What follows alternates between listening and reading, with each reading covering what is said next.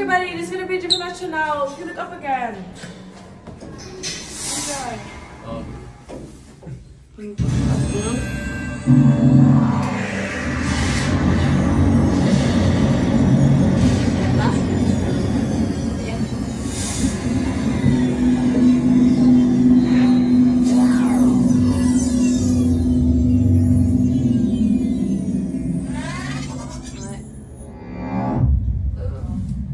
The exit is going to be that way. You can look at your pictures and everything. Everybody. Thank, Thank you. you.